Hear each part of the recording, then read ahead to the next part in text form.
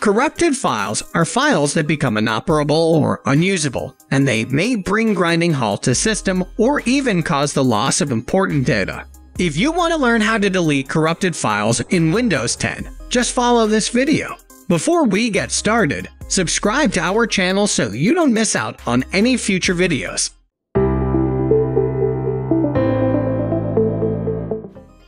The first shot is to reboot your computer and try to delete the corrupted files with an administrator account. Step 1. Close all programs and files you're editing. Step 2. Restart computer and then boot to Windows. Step 3. Log an administrator account and find out corrupted files you want to delete.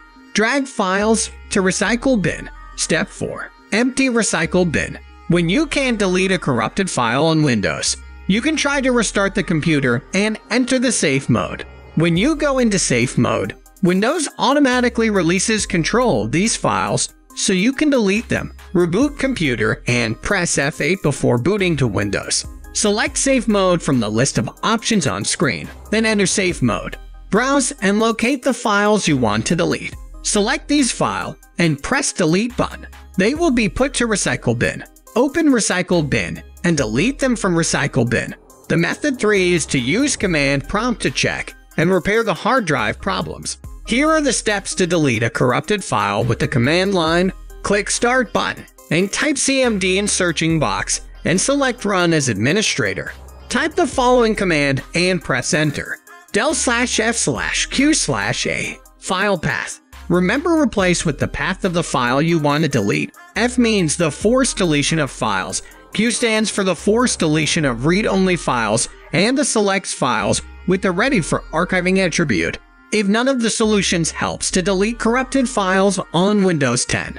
The final tip to address the problem is formatting the hard drive to permanently remove the file or directory is corrupted or unreadable error.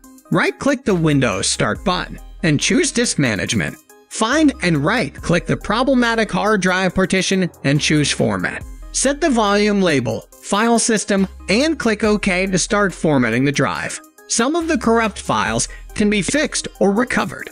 Tenorshare 4DDiG is a professional data recovery tool that can be used to recover any corrupted or deleted files such as photos, videos, documents, and more with simply three steps.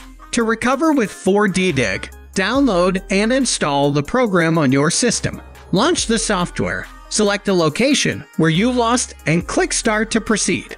Now 4DDiG will start scanning hard drive to find and recover corrupted or lost files. After the scanning, you can choose files to preview and then click Recover to save them to a different partition.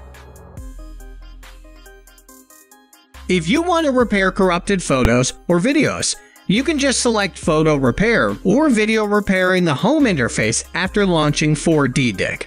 This is all about how to delete corrupted files. To recover any lost, deleted, or corrupted data from Windows, Mac, and removable devices, we strongly recommend you to use Tenorshare 4DDiG. Subscribe to our channel if you want more useful tips. See you next time.